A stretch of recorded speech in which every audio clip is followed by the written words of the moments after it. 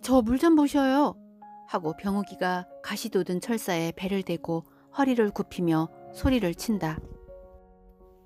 다른 세 사람도 속으로는 저 물 좀 보게 하면서도 아무도 입 밖에 말을 내지는 아니한다. 저것 보게 저기 저 집들이 반이나 잠겼습니다 그려 하고 마산선으로 갈려 나가는 길가에 있는 초가집들을 가리킨다. 과연 대단한 무리로다.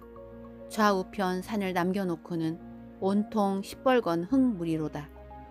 강 한가운데로 굼실굼실 소용돌이를 쳐가며 흘러내려가는 물소리가 들리는 듯하고 그 물들이 좌우편에 들어선 산 구비를 파서 얼마 아니 되면 그 산들의 밑이 빠져나갈 것 같다.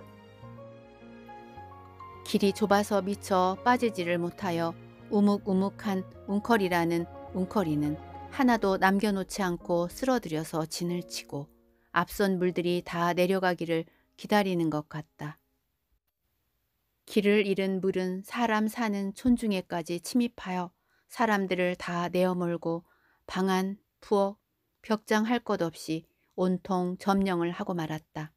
그리고 집을 잃은 사람들은 모두 아이를 업고 늙은이를 이끌고 높은 데 높은 데를 찾아 산으로 기어오른다.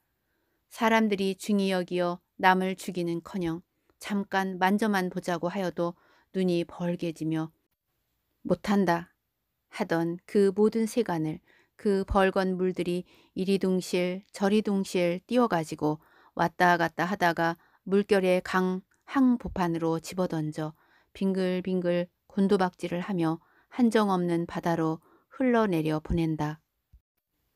사람들이 여름 내내 애써서 길러놓은 곡식들도 그 붉은 물결 속에서 부닥끼고 또 부닥끼어 그 약한 허리가 부러지는 것도 있을 것이요.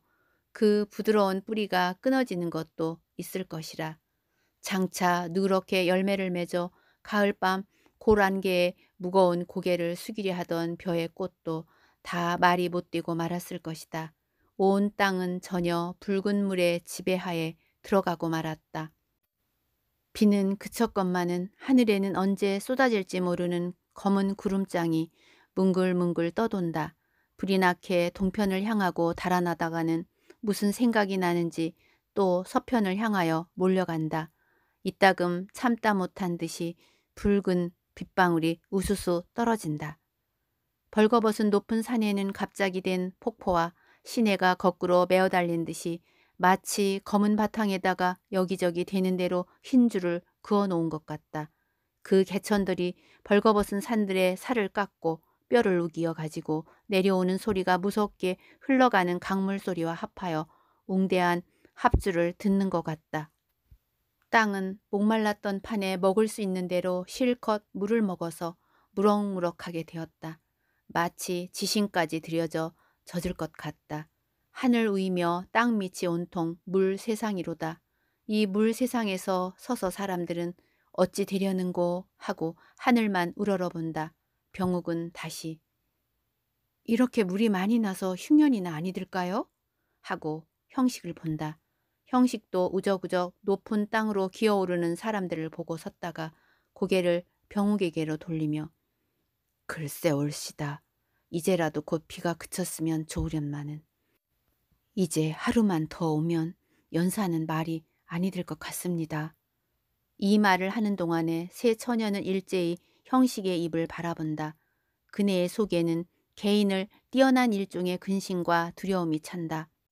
큰 물, 흉년 하는 생각과 물소리와 뭉글뭉글하는 구름과 집을 잃고 높은 땅으로 기어오르는 사람은 그네로 하여금 개인이라는 생각을 잊어버리고 공통한 생각, 즉 사람으로 저마다 가지는 생각을 가지게 되었다. 선영도 이제 비가 그치면 오늘 안으로 이 물이 다 찔까요? 하고 형식을 본다. 아마 내일 아침까지는 갈걸요? 한다. 상류에 비가 아니 오면 곧 찌지만은 상류에 비가 오면 하고 영채가 연전 평양은 비도 아니 오는데 대동강이 범람하던 생각을 한다. 평양 시가에도 물이 들어올 때가 있나요? 하고 선영이가 영채를 보며 묻는다. 들어오고 말고요. 성내에는 별로 들어오는 일이 없지만은 애성에는 흔히 들어옵니다. 그저께도 애성 신시가로 배를 타고 다녔는데요. 하고 선영의 눈을 실쩍 본다. 선영이 얼른 눈을 피하였다. 병욱은 한참 듣다가 빙긋 웃으며 속으로 너희들이 잘 이야기를 한다 하였다. 영채는 병욱의 웃는 것을 보고 한 걸음 병욱에게 가까이 가며 남에게 아니 보이게 가만히 병욱의 손을 잡는다. 병욱은 영채의 손을 꼭 쥐어주었다. 네 사람은 한참이나 말없이 저 보고 싶은 데를 멀거니 보고 있었다. 그러나 네 사람은 공통한 생각을 버리고 각각 제가 되었다. 그러고 본즉 여기 서서 구경할 재미도 없어졌다. 그래도 그냥 우투커니 섰다가 의논한 듯이 네 사람은 슬며 발을 돌려 거기서 십여 보가 다 못되는 여관으로 향하였다. 하녀들과 반토가 이라시아이를 부르고 네 사람은 2층 북편 끝 하치조마로 인도한다. 지나가면서 보건대 각 방에는 손님이 다 찬 모양이요. 모두 무슨 이야기들을 한다. 여관은 물난 덕에 매우 흥성흥성하게 되었다. 네 사람이 각각 방석을 당겨 깔고 앉자마자 소나기가 쏴 하고 여관의 함석 지붕을 때린다. 아이고 저 집 잃은 사람들을 어찌해? 하고 새 처녀가 일시에 얼굴을 찌푸린다. 비는 쫙쫙 퍼붓는다. 방 안은 적적하다. 집을 잃은 무리들은 산 기슭에서 선대로 비를 한 방 맞아서 전신에서 물이 쭉 흐르게 되었다. 어린아이를 아는 부인들은 허리를 굽혀서 팔과 몸으로 아이들을 가리운다. 그러나 갑자기 퍼붓는 빗발에 숨이 막혀서 으아하고 우는 아이도 있다. 그러면 어머니는 머리에서 흐르는 빗물에 섞인 눈물을 흘리면서 몸을 흔들거린다. 어떤 노파는 되는 대로 되어라 하는 듯이 우투커니 쭈그리고 앉아서 비에 가리운 먼 산을 바라보고 어떤 중늙은이는 머리 덥수룩한 총각을 데리고 그늘을 찾아서 뛰어간다. 여름 내 김매기의 얼굴이 볕에 그을은 젊은 남녀들은 어찌할 줄을 모르고 멀거니 서서 자기네가 애써 지어놓은 논 있던 곳을 바라본다. 벌건 물결은 조금 남았던 논까지도 차차 덮고야 말았다. 우르릉 하는 우레소리가 한 번 산천을 흔들 때마다 주렴 같은 비가 앞산으로 고함을 치고 들이 달아나서는 숨 쉬듯 불어오는 동남풍에 비스듬히 휘면서 뒷산으로 달아 들어간다. 그러할 때마다 풀대 사이로 흙물이 모래를 밀고 왁 쫄려 내려온다. 또 한 번 우레소리가 나고는 또 한바탕 앞산 너머로서 모진 비가 밀려 넘어온다. 그 속에 백여 명 사람들은 어찌할 줄을 모르고 가만히 섰다. 처음에는 무서운 마음도 나고 슬픈 마음도 났건만은 한참 지나서는 아무러한 생각도 없이 되었다.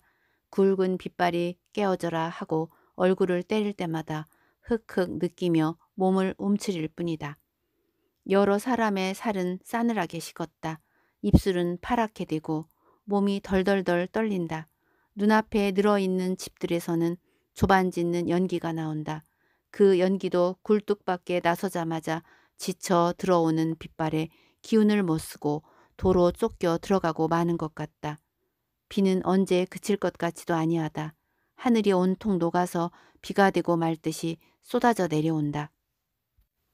그 중에 저편 언덕에 지게를 기둥 삼아 낡은 거적이 하나를 덮어놓은 것이 있고 그 밑에는 어떤 행주치마 있고 얼굴에 주름 잡힌 도파가 입술을 물고 괴로워하는 젊은 부인을 안고 앉았다. 풀물 묻은 잠방이 입은 젊은 남자는 상투바람으로 우뚝 서서 바람에 날리려는 섬 거적을 붙들고 있다. 이 기가 들먹하면 이것을 누르고 저 기자기가 들먹하면 저것을 누른다. 노파에게 안긴 젊은 부인은 괴로움을 견디지 못하는 듯이 몸을 비틀고 이따금 아이쿠 아이쿠 하고 소리를 친다. 그러할 때마다 노파는 더 힘껏 그 부인을 껴안아주고 젊은 남자는 고개를 기울여 들여다본다. 산에서 흘러내려오는 물이 흙을 밀어다가 노파의 몸을 섬삼아 좌우로 흘러내려간다. 노파와 젊은 부인의 치맛자락이 흙에 묻혔다 나왔다 한다. 이윽고 우레소리가 저 멀리 서편으로 달아나며 비가 차차 그치고 어둡던 천지가 좀 밝아진다. 산들이 모두 제 모양이 될 때에는 사방으로 흘러내리는 물소리만 칼칼하게 들린다. 이때 젊은 남자는 섬 거적을 벗겨내어 버리고 허리를 굽혀 젊은 부인의 얼굴을 들여다보면서 어떤고 한다.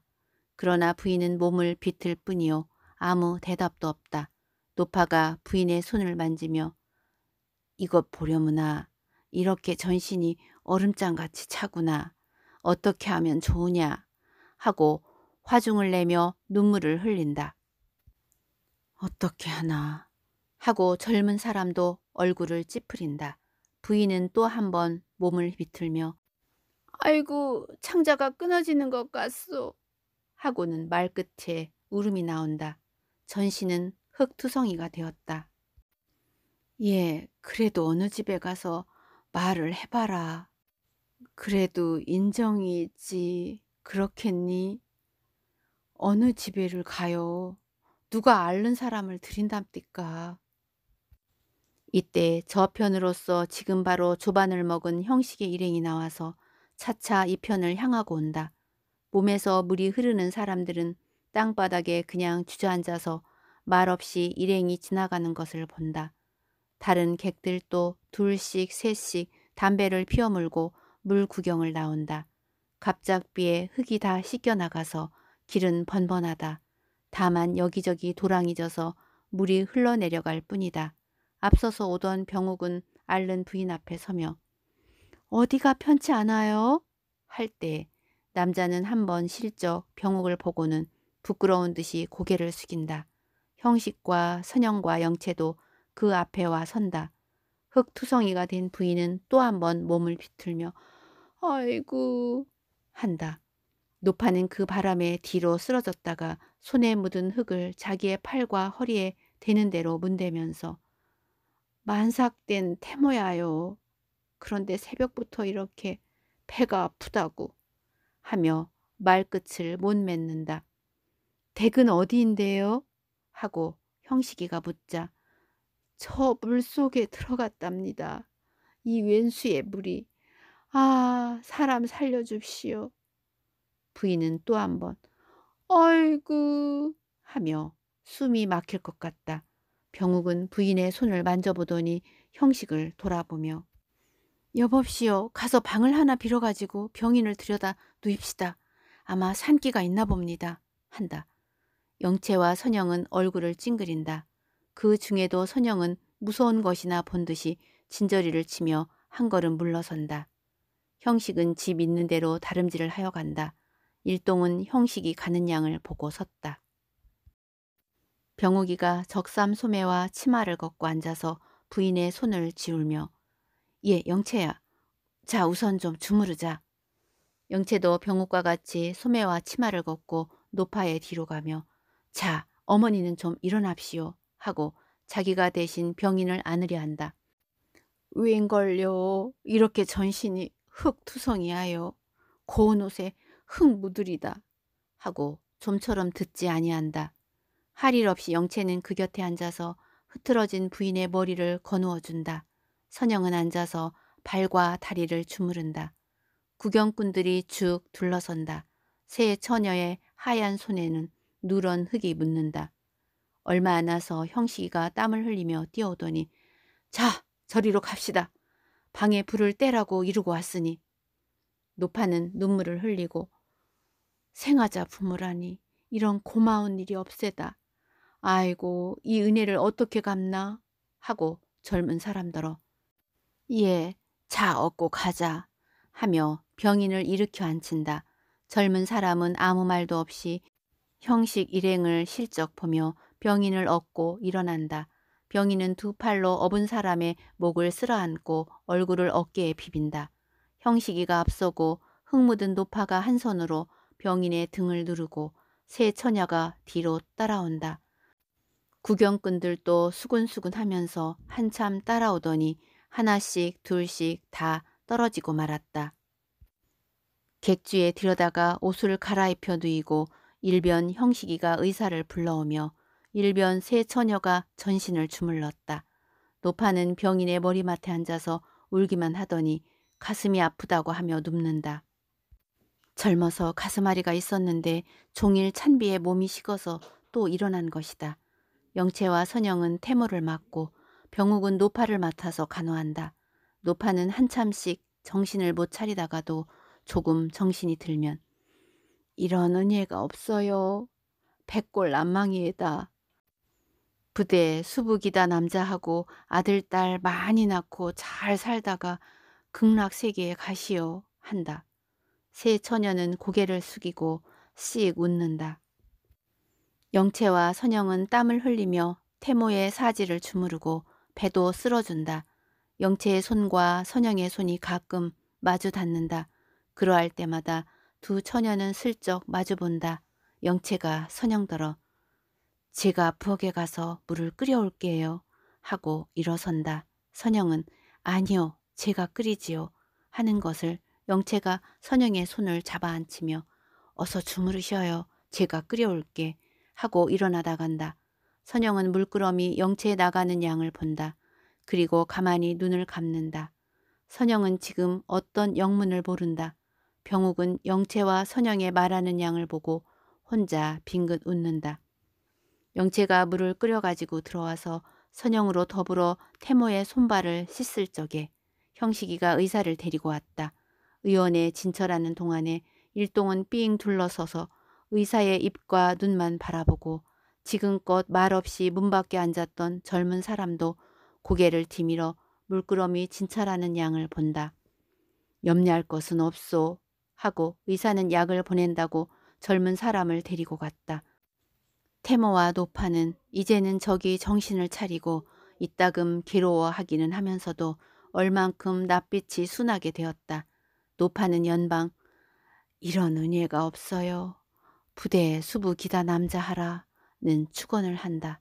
노파의 말을 듣건데 노파는 젊어서 과부가 되어 아들 하나를 데리고 갖은 고생을 다 하다가 아들이 점점 자라서 며느리도 얻게 되고 남의 땅일 망정 농사를 지어 이럭저럭 재미롭게 살만치 되어 자기 손으로 조그만 집도 짓고 밭도 한 조각 사게 되었다. 또 며느리가 태중이므로 어서 손자를 안아보았으면 남 부러울 것이 없으리라 하였다. 그랬더니 어저께 물에 농사 지은 것은 말끔 물속에 들어가고 오늘 새벽에는 집까지 물에 들어가고 말았다. 여기까지 말하고는 노파는 흑흑 느끼며 집이 떠나가지는 아니했으면 좋겠어요. 한다. 60년 근거로 얻은 집이 만일 한 번 떠나가고 말면 노파는 생전에 다시 제 집이라 구경 못하고 말 것이다. 손자를 안아보고 제 집 아랫목에서 죽는 것이 노파의 유일한 소원일 것이다. 그 집이란 것이야 팔아도 10원을 받기가 어렵지만은 이 가족에게는 대궐보다도 더 중한 것이다. 노파의 눈에는 그 돌담들은 조그마한 집만 보인다. 물결이 그 집을 헐 것을 생각할 때마다 노파는 마치 자기 살점을 베어나는 듯하였다. 그래서 조금 낙을 볼까 하면 이렇게 됩니다. 그려. 전생에 내가 무슨 죄를 지어서 이렇게 자식까지 앙화를 받는지요. 한다. 그렇게 생각하지 맙시오. 이제 또 잘 살게 되지요. 하느님이 아니 계십니까? 하고 영채가 위로를 한다. 그리고는 어제 저녁에 자기가 병욱에게 위로를 받던 생각이 나서 속으로 우스워진다. 아이고 이제는 저승에나 가서 잘 살는지 하다가 중동의 말을 그치고 고개를 번쩍 들어 며느리를 보며 이에 배 아프기가 좀 나으냐? 이 어른들 아니더면 꼭 죽을 뻔했다. 하고 또 수북이다 남자를 부른다. 병욱은 경찰서에 들어가 서장에게 면회하기를 청하였다. 서장은 이상한 듯이 병욱을 보더니 무슨 일이오? 한다. 다른 일이 아니라 하고 저 수재를 당한 사람들 중에는 병인도 있고 태모도 있고 젖먹이 가진 부인도 있는데 조반도 못 먹고 비를 맞고 떠는 정경이 가련하며 더구나 어머니가 무엇을 먹지 못하였으므로 젖이 아니 나서 어린아이들의 우는 양은 차마 못 보겠다는 말을 한 뒤에 그래서 마침 부산 가는 기차가 비에 걸려서 오후까지 머물게 되었으니 음악회를 열어 거기서 수입된 돈으로 불쌍한 사람들에게 따뜻한 국밥이라도 만들어 먹이고 싶다는 뜻을 말하고 허가와 원조하여 주기를 청하였다. 서장은 점점 놀라하는 빛을 보이더니 그러면 음악할 줄 아는 이가 있나요? 하고 감격한 목소리로 대답한다.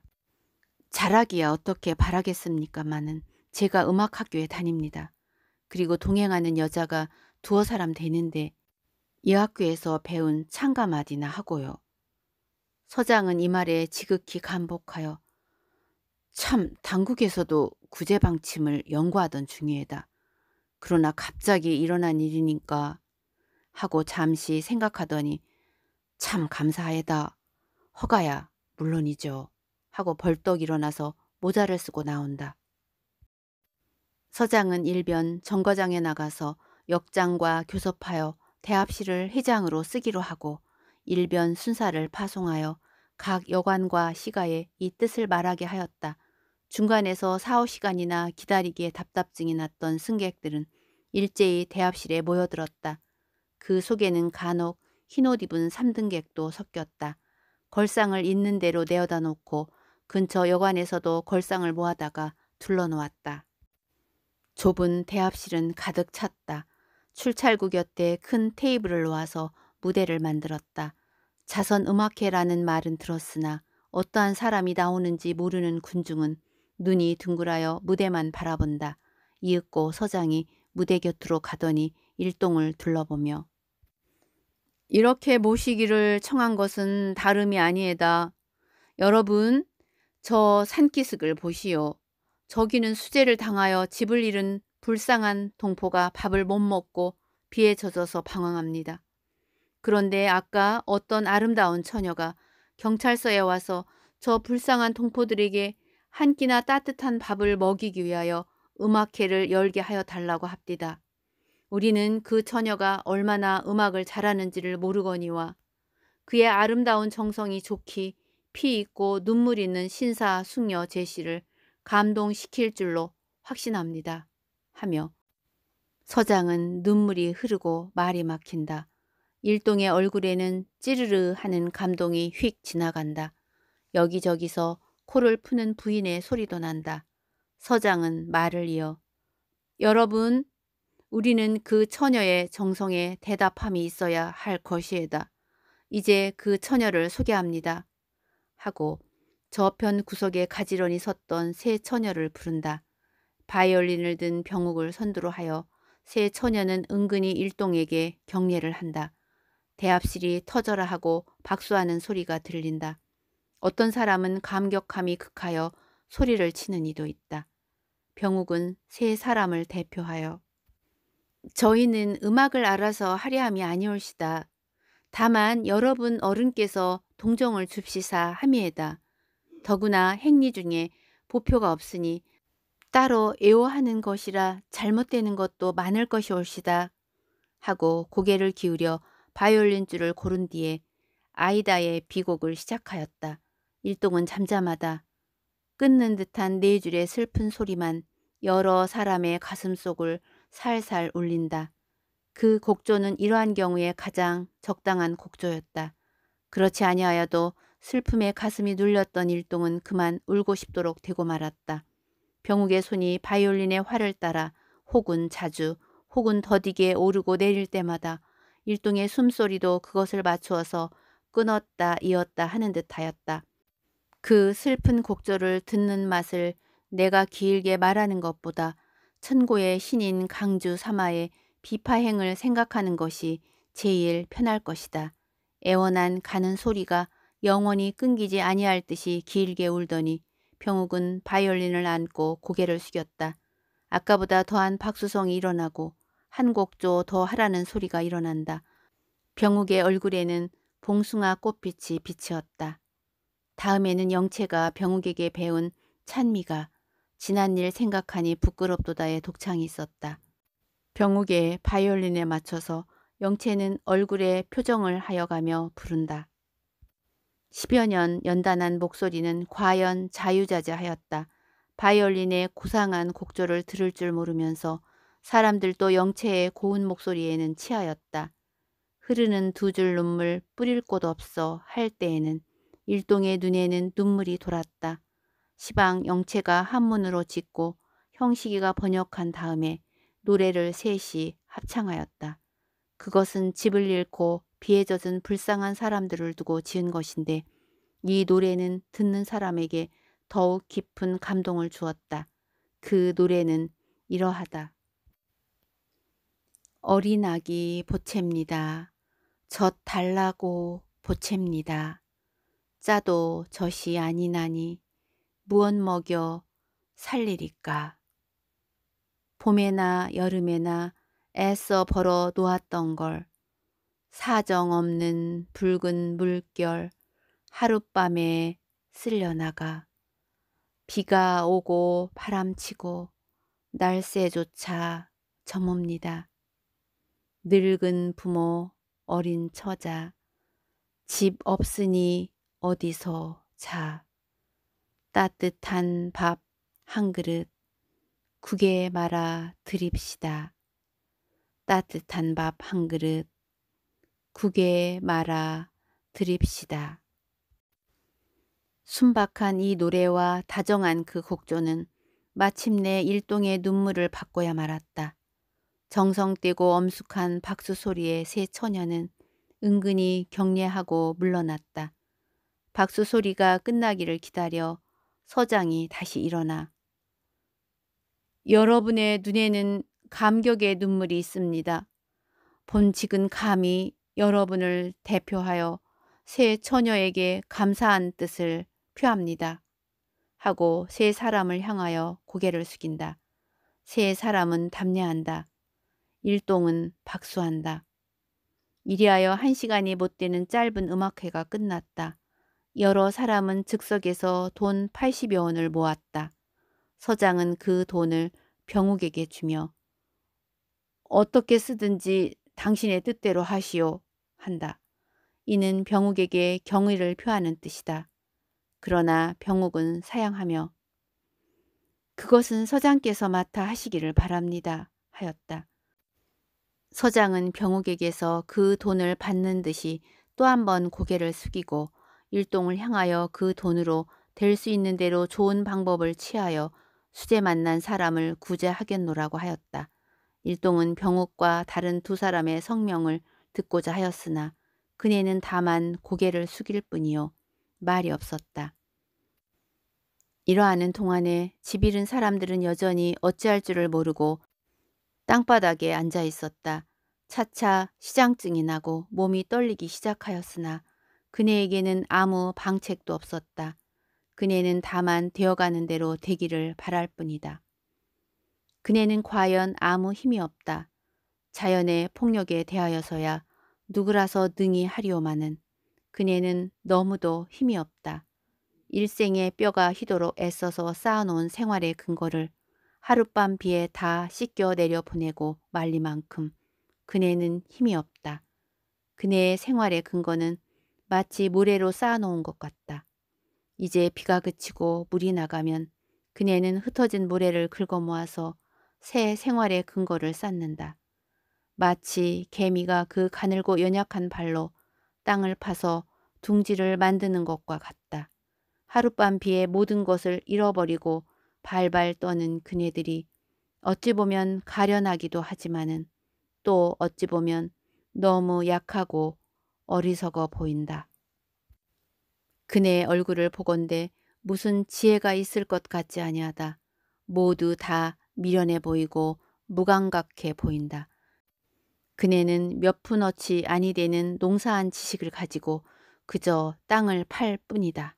이리하여서 몇 해 동안 하느님이 가만히 두면 썩은 벼섬이나 모아 두었다가는 한 번 물이 나면 다 씻겨 보내고 만다.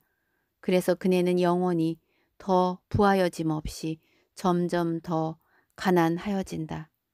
그래서 몸은 점점 더 약하여지고 머리는 점점 더 미련하여진다. 제대로 내어버려 두면 마침내 북해도의 아이 누나 다름없는 종자가 되고 말 것 같다. 저들에게 힘을 주어야 하겠다. 지식을 주어야 하겠다. 그리하여 생활의 근거를 안전하게 하여 주어야 하겠다. 과학, 과학 하고 형식은 여관에 돌아와 앉아서 혼자 부르짖었다. 새 처녀는 형식을 본다. 조선 사람에게 무엇보다 먼저 과학을 주어야겠어요. 지식을 주어야겠어요. 하고 주먹을 불끈지며 자리에서 일어나 방 안으로 거닌다. 여러분은 오늘 그 광경을 보고 어떻게 생각하십니까? 이 말에 세 사람은 어떻게 대답할 줄을 몰랐다.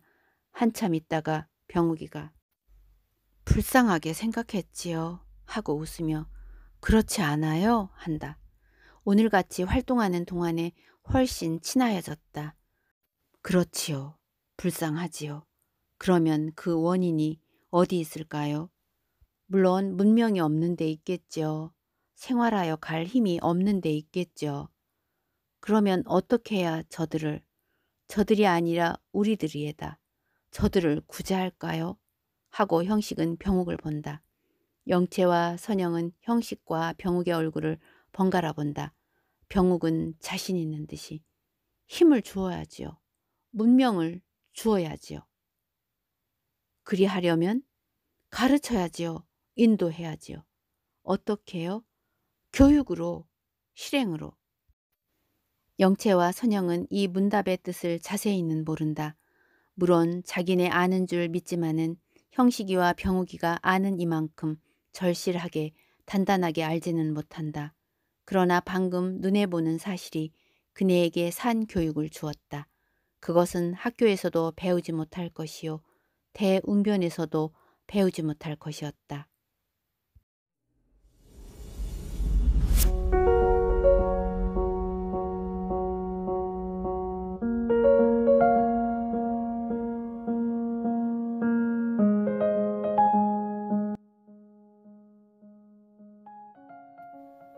일동의 정신은 긴장하였다. 더구나 영채는 아직도 이러한 큰 문제를 논란하는 것을 듣지 못하였다. 어떻게 하면 저들을 구제하나? 함은 참 큰 문제였다. 이러한 큰 문제를 논란하는 형식과 병욱은 매우 큰 사람같이 보였다. 영채는 두잠이며 소동파의 세상을 근심하는 식구를 생각하고 또 5년 전 월화와 함께 대성학교장의 연설을 듣던 것을 생각하였다. 그 때에는 아직 나이 어려서 분명히 알아듣지는 못하였거니와 여러분의 조상은 결코 여러분과 같이 못생기지는 아니하였습니다. 할 때 과연 지금 날마다 만나는 사람은 못생긴 사람들이다 하던 생각이 난다. 영채는 그 말과 형식의 말에 공통한 점이 있는 듯이 생각하였다. 그리고 한 번 더 형식을 보았다. 형식은 옳습니다. 교육으로, 실행으로 저들을 가르쳐야지요. 인도해야지요. 그러나 그것은 누가 하나요? 하고 형식은 입을 꼭 다문다. 새 처녀는 몸에 소름이 끼친다. 형식은 한 번 더 힘있게 그것을 누가 하나요? 하고 새 처녀를 골고루 본다. 새 처녀는 아직도 경험하여 보지 못한 듯한 말할 수 없는 정신의 감동을 깨달았다. 그리고 일시에 소름이 쪽 끼쳤다. 형식은 한 번 더. 그것을 누가 하나요? 하였다. 우리가 하지요. 하는 대답이 기약하지 아니하고 새 처녀의 입에서 떨어진다. 네 사람의 눈앞에는 불길이 번쩍하는 듯 하였다. 마치 큰 지진이 있어서 온 땅이 떨리는 듯 하였다. 형식은 한참 고개를 숙이고 앉았더니 옳습니다. 우리가 해야지요. 우리가 공부하러 가는 뜻이 여기 있습니다. 우리가 지금 차를 타고 가는 돈이며 가서 공부할 학비를 누가 주나요? 조선이 주는 것입니다. 왜? 가서 힘을 얻어오라고, 지식을 얻어오라고, 문명을 얻어오라고. 그리해서 새로운 문명 위에 튼튼한 생활의 기초를 세워달라고. 이러한 뜻이 아닙니까? 하고 조끼 주머니에서 돈 지갑을 내어 푸른 차표를 내어 들면서 이 차표 속에는 저기서 들들 떠는 저 사람들 아까 그 젊은 사람의 땀도 몇 방울 들었어요. 부대 다시는 이러한 불쌍한 경우를 당하지 말게 하여 달라고요. 하고 형식은 새로 결심한 듯이 한번 몸과 고개를 흔든다. 새 처녀도 그와 같이 몸을 흔들었다. 이때 네 사람의 가슴 속에는 꼭 같은 나 할 일이 번개같이 지나간다. 너와 나라는 차별이 없이 온통 한 몸, 한 마음이 된 듯하였다. 선영도 아까 영채가 재물 끓여올게요 하고 자기의 손목을 잡아 앉힐 때부터 차차 영채가 정다운 생각이 나고 또 영채가 지은 노래를 셋이 합창할 때에는 영채의 손을 잡아주도록 정다운 생각이 나고 또 지금 세 사람이 일제히 우리지요 할 때 더욱 영채가 정답게 되었다. 그리고 형식이가 지금 병옥과 문답할 때에는 그 얼굴에 일종 거룩하고 엄숙한 기운이 보여 지금껏 자기가 그에게 대하여 오던 생각이 죄송한 듯하다. 자기는 언제까지 형식과 영채를 같이 사랑하고 싶었다. 그래서 새로이 형식과 영채의 얼굴을 보았다. 형식은 숙였던 고개를 들어 우리가 늙어 죽게 될 때에는 기어이 이보다 훨씬 좋은 조선을 보도록 합시다. 우리가 게으르고 힘없던 우리 조상을 원하는 것을 생각하여 우리는 우리 자손에게 고마운 조상이라는 말을 듣게 합시다. 하고 웃으며 그런데 이 자리에서 우리가 장래 나갈 길이나 서로 말합시다. 하고 세 사람을 본다. 세 사람도 그제야 엄숙하던 얼굴이 풀리고 빙그레 웃는다. 선영께서 먼저 말씀하셔요.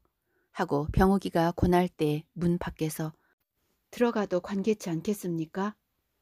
하고 우선의 목소리가 들린다. 형식은 벌떡 일어나 문을 열고 우선의 손을 잡으면서 어떻게 지금 오나?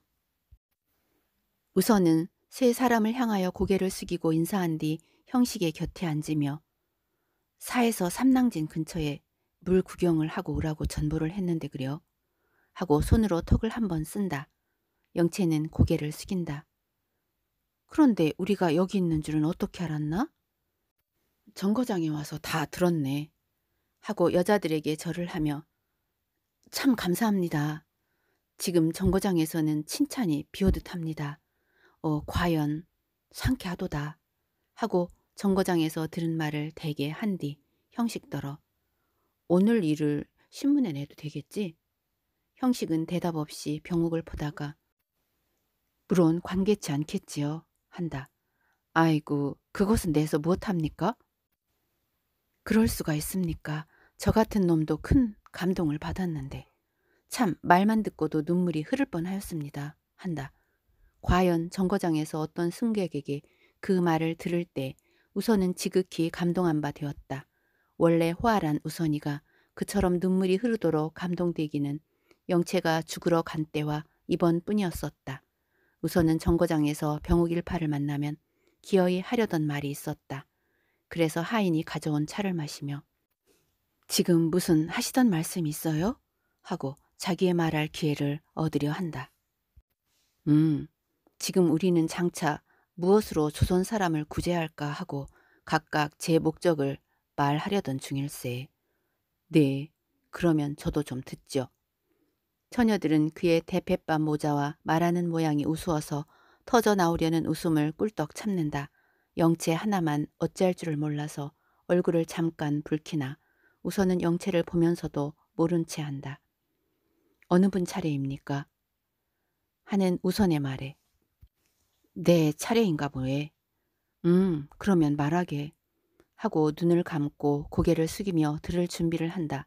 병욱은 영채의 옆구리를 꾹 찔렀다. 선영은 웃음을 참느라고 살짝 고개를 돌린다. 나는 교육가가 될랍니다. 그리고 전문으로 생물학을 연구할랍니다. 그러나 듣는 사람 중에는 생물학의 뜻을 아는 자가 없었다. 이렇게 말하는 형식도 물론 생물학이란 참뜻을 알지 못하였다.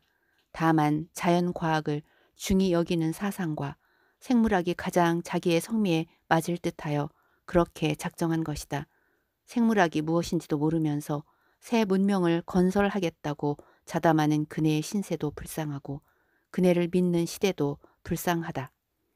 형식은 병욱을 향하여 물론 음악이시겠지요? 네, 저는 음악입니다. 또 영채 씨는? 영채는 말없이 병욱을 본다. 병욱은 어서 말해라 하고 눈짓을 한다. 저도 음악입니다. 선영 씨는?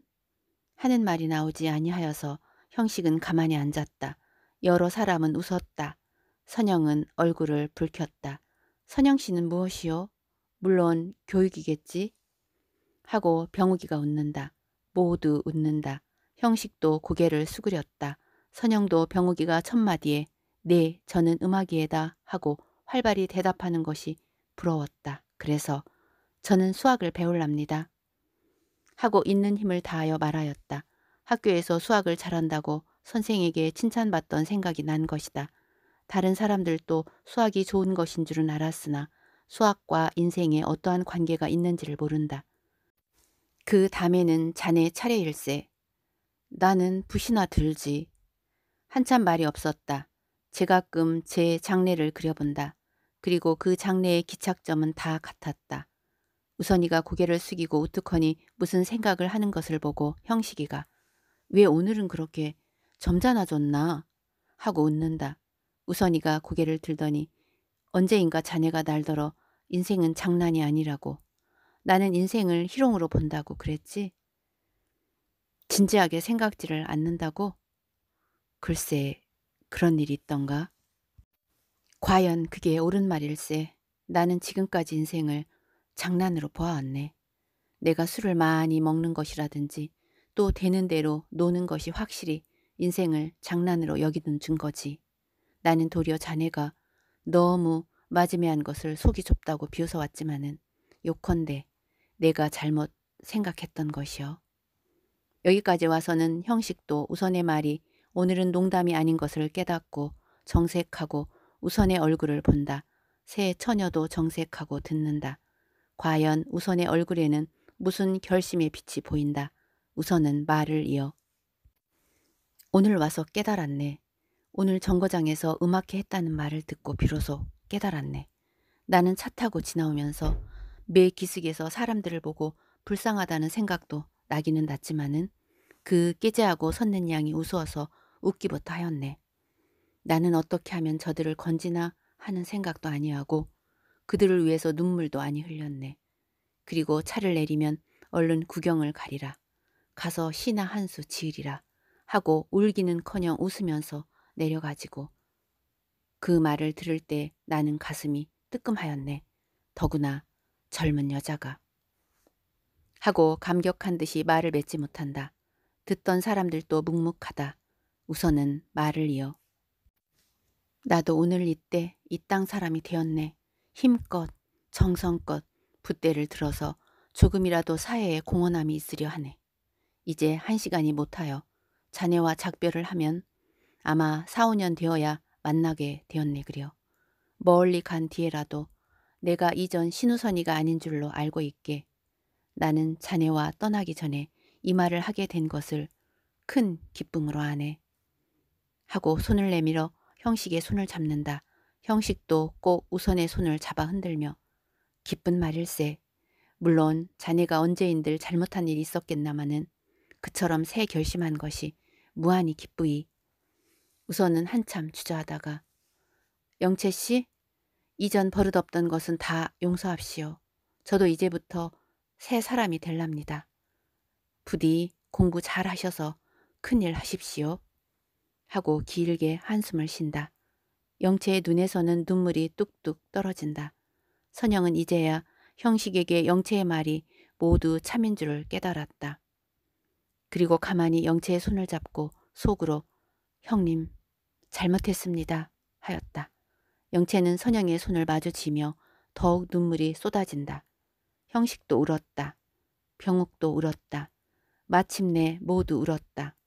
비, 캔디, 맑은 바람이 창밖에 늘어진 수양버들 가지를 스쳐 방 안에 불어 들어와 다섯 사람의 열한 얼굴을 식힌다. 잠잠하다.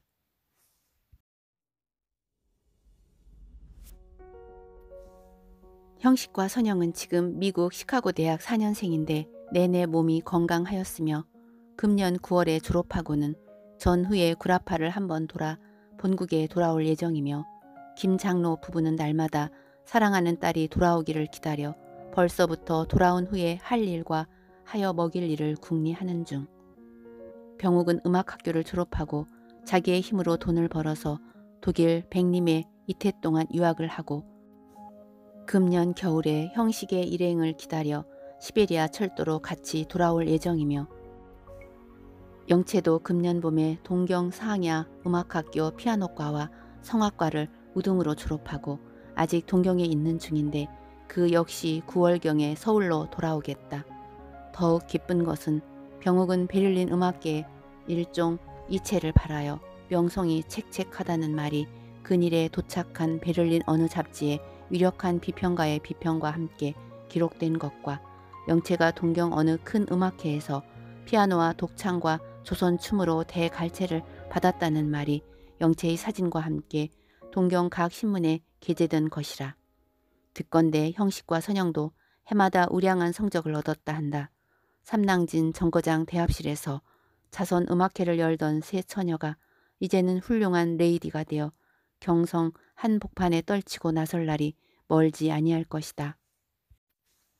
신우선은 그로부터 일절 화류계에 발을 끊고 예의 전심, 일변 수양을 힘쓰며 일변 저술에 노력하여 문명이 전투에 떨쳤으며 더욱이 근일 발행한 조선의 장례는 발행한 이주일이 못하여 사판에 달하였으며 그의 사상은 더욱 깊고 넓게 되며 붓은 더욱 날카롭게 되어간다. 한 가지 걱정은 아직 술이 너무 과함이나 고래로 동양 문장에 술 못 먹는 사람 없으니 그리 책망할 것도 없을 것이라. 지금은 유명한 대패밤 모자를 벗어버리고 백설 같은 파나마 모자를 쓰며 코 아래는 고운 카이젤 수염까지 났다. 황주 김병국은 10만여 주의 대상원을 지었다. 작년에 봄서리로 적지 아니한 손해를 보았으나 금년에는 상엽이 매우 충실하다 하니 다행이며 병국의 조모는 불행히 사랑하는 손녀를 보지 못하고 작년 여름에 세상을 떠나셨다. 병국의 부인도 이제는 아들 하나 딸 하나를 낳고 내 금실도 전 같지는 아니하다던지. 형식에 주인하고 있던 노파의 집에는 의학 전문학교 학생들이 있는데 구더기가 있는 장찌개와 담뱃대는 지금도 전같이 유명하나 다만 차차 몸이 쇠약하여져서 지금은 약수에도 다니지 못한다. 그러고 보는 사람마다 형식의 말을 늘 한다. 영채 어머니는 집을 팔아가지고 평양 어느 촌으로 내려가서 양자를 들여 데리고 농사를 지으며 진실한 예수교 신자가 되어서 편안히 천당길을 닦는다. 우선에게서 영채가 죽지 않고 동경에 갔다는 말을 듣고 너무 기뻐서 울었다 함은 우선의 말이다. 그 후에 영채는 한 달에 한 번씩 편지를 하였으며 어머니도 자기가 진실이 예수를 믿는다는 말과 영채도 예수를 잘 믿으라는 말과 졸업하고 오거든 꼭 자기의 집으로 오라는 말을 편지마다 하고 혹 옷값으로 돈도 보내주며 가끔 고추장, 암치 같은 것도 보내준다. 한 가지 불쌍한 것은 형식이가 평양에 갔을 적에 데리고 칠성문으로 나가던 계양이가 어떤 부잣집 방탕한 자식의 첩이 되어 갔다가 매독을 올리고 게다가 남편한테 쫓겨나기까지 하여 아주 적막하게 신고함이니 아마 형식이가 돌아와서 이 말을 들으면 매우 슬퍼할 것이다. 그 어여쁘던 얼굴이 말 못하게 초췌하여 이제는 누구 돌아보아 주는 이도 없게 되었다. 혹 독자 여러분이 기억하시는지 모르거니와 형식이가 사랑하던 이 희경군은 아까운 재주를 품고 조세하였고 얼굴 컴컴하던 김종렬군은 북간도 등지로 갔다는데 이내 소식을 모르며 배악감은 그 후에 교주와 충돌이 생겨 지금은 황해도 어느 금광에 가 있다는데 아직도 철이 나지 못한 모양이라 하니 가엾은 일이다. 또 한 가지 말할 것은 칠성문 박 형식이가 돌부처라 하던 그 노인은 아직도 건강하여 10여일 전부터 텐마루로 나와 앉아서 몸을 흔들거리고 있다. 다만 달라진 것은 그 감투가 전보다 더 낡아졌을 뿐. 나중에 말할 것은 형식 일행이 부산서 배를 탄 뒤로 조선 전체가 많이 변한 것이다. 교육으로 보든지 경제로 보든지 문학 언론으로 보든지 모든 문명 사상의 보급으로 보든지 장족의 진보를 하였으며 더욱 하려할 것은 상공업의 발달이니 경성을 머리로 하여 각 대도대의 석탄 연기와 새마치 소리가 아니 나는 데가 없으며 연례의 극도로 쇠하였던 우리의 상업도 점차 진흥하게 됨이라.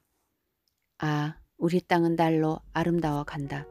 우리의 연약하던 팔뚝에는 날로 힘이 오르고 우리의 어둡던 정신에는 날로 빛이 난다.